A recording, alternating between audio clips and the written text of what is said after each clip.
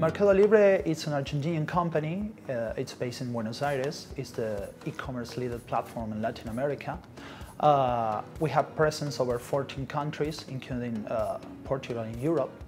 Um, 1,900 people work in Mercado Libre, where 400 are related with IT.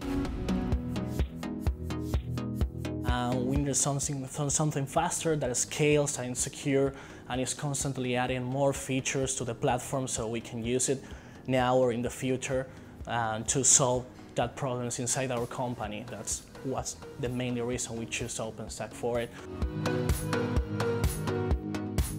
We're using most of the stack, um, starting with our object store implementation. That is one of the biggest. Uh, today, Mercado Libre is actually storing all its pictures on the object store.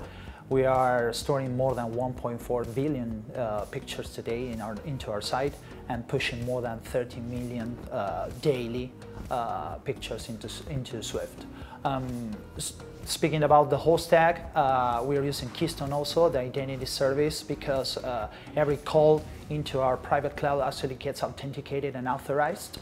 Uh, we are using Cinder also, that is the block storage solution for OpenStack uh, with lots of backends behind. We're using Nova Compute for instances with KVM as hypervisor, and we're using Docker IO for our Linux containers. We're using Glance for image store, and we're using Neutron, of course, to virtualize our networking infrastructure.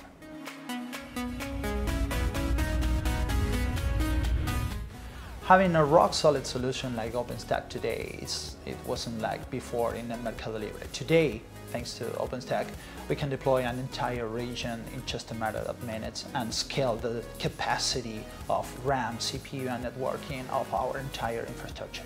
Actually, deploying OpenStack gives us the ability to build a lot of services around it, like Memcache as a service, Database as a service, and Queuing as a service.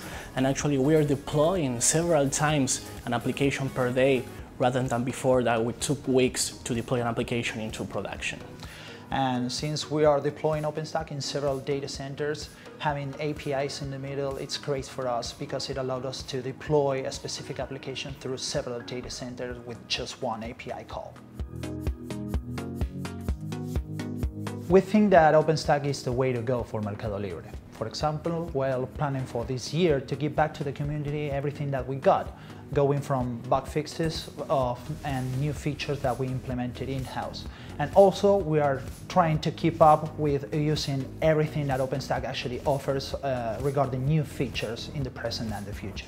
Actually, our most ambitious plan for the next year is to go for a full SDN networking solution to replace our current networking stack and actually we think that in Mercado Libre with OpenStack, the sky is the limit.